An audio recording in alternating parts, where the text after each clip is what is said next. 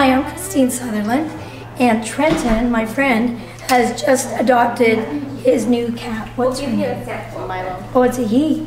Yep. Oh, great. And would you like to learn to massage Milo? Sure. Great, okay, go ahead, and you can show us. And this is Monica. Hi. Who's Trenton's mom. How's it going? The sponsor for Milo. Great. I think Milo's a teenager, but we're gonna find out soon.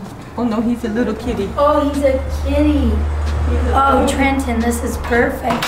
Okay, so what we'll do, and how do you know it's that one? Not that one. They look so much alike. Right, okay, but you know that one's yours. You're good. Okay, so then, oh, That's why he's getting him. oh. Okay, so all open this and you can lift them out, eh? And we'll try and keep the other ones in. Okay, Milo, we're gonna give you your first massage. Milo's massage, that's good alliteration. It's gonna be a little bit hard, I think. Oh yeah, kit- kittens are very hard. They're very uh, rambunctious. There we go. Okay, so let's sit over here. And how's the light if we're here? Why? Yeah, that's good. Is that gonna work? Yeah. Okay, have a seat, Monica. You can sit right here. Okay. So what I'll do is, is I'll make sure that I keep Milo on Trenton. And you take your fingertips and you massage like this. Just like a baby massage right up into the neck. And that way you're getting the whole spine. And he'll want to leave any second. And between the two of us, we'll just kind of, so you hold, yep, that's it. Right from the tail. Oh, he purrs fast. Can feel him purring. Right up to his neck. Yep. And you always do the spine first, and then it makes the, this cat one. Monica, if you can fill in there. sure. You got the teenagers one. And look how loose he goes, Milo.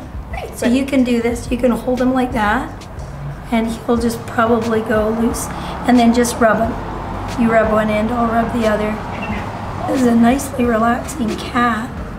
And then come on up here and rub right behind the ears. Yep, that's good. And they really like that. And then as they're growing up, you want to desensitize in between their their paws. Have these little nails that come out here. So their toes, in between their toes are quite sensitive. So just go like this. And that's it. That's it. Work right in between. You want to get a downward shot on this, Wyatt, and you can get This one is very our new owner's finger.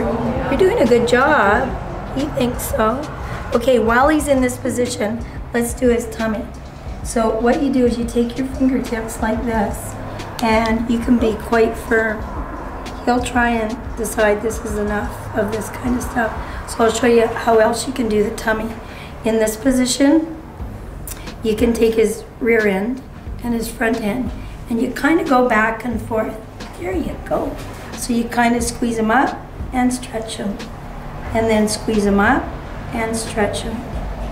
And you can use more fingertip kneading there. Yeah, even more. Yeah, we're just giving your tummy a rub. Let me show you. So you can get like this, right in there. And you can just keep letting them move, but my fingers are still going. So try that. He's now serious. He's got his claws out. He means business. So let, we'll take a big stroke first. That's it. And then go for a little stroke. Milo, you are lucky. Trenton, how'd you get such a serious name? I don't know. There's a wonderful uh, canal named after you. And the more kissing, the better. he likes that. And then this kind of thing is really, really good. And the more you rub him, the more he gets used to you and being handled. That's it. And this is really good if you're ever wanting them to swallow a pill or something like that. You rub around the neck like this, get them to swallow. Good work. Okay, say he had a cough, something like that. I'll show you the position of your hand. You do a cup shape like this, and you go like that. And you do, it's called cupping. And try that. and we just Can you do on it on older cats too? Yes, and Okay. dogs.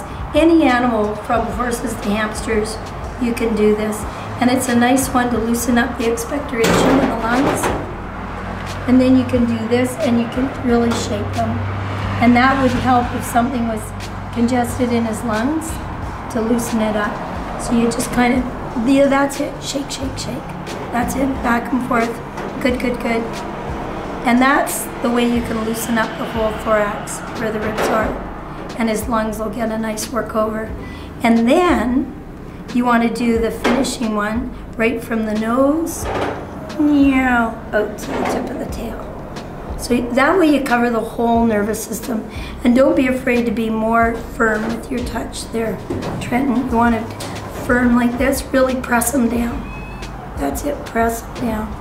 He's not impressed, but I am. Try this angle. there you go. Yay, right to the tip of the tail. Nose. Start at the nose. You're stingy on the face. Start at the nose. There you go. And then the other hand, like a conveyor belt. One. Nice. And the other. You got it. Yeah, you are very lucky. So that is the Milo massage. So I'd like to thank Trenton for being such a good student. Yay, congratulations. Thanks, Mom. We have another parrot.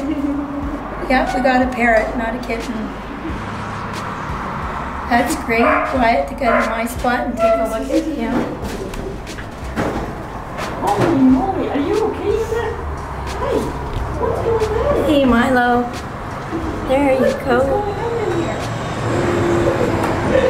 And would it be okay if we posted that and showed people you getting your cat?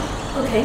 So we're just gonna follow you because you're now the proud owner and you're taking him home and No, today we're picking him up on Tuesday. Oh, He's Oh, not that's- ready oh. to go home yet. Oh, that's good. So Milo, would you say you're ready to go home yet? So Trenton, can you tell us what makes it ready for him to go home? I'll get you to face this way because then the light will get on your face. He has to be eight weeks, buddy. Oh, he has to be eight weeks? Oh, so he's only seven and a bit? Yeah. He's oh. turning Oh, eight weeks on Monday. nice. So you come and visit him? And now you know how to give him the massage? Yeah. Oh, that is so nice. Great. Congratulations. Thank you. And Would it be okay if we showed people how we did it? No Okay, problem. Great. When I put him back, don't you dare take him with you. We're not. No, I'm not holding him right now. So everybody, it's about that simple for how to learn to rub your kitten the right way. And Milo has a great situation here with Trenton and his mom Monica. So he can get massaged every time they come to visit. And then he'll have a hands-on family for when he goes home. So remember, there's lots of kittens and cats. We've got teenagers here. And look at this, this is a natural I love to be rubbed teenager. So remember, call your SPCA and find a pet that you can rub the right way.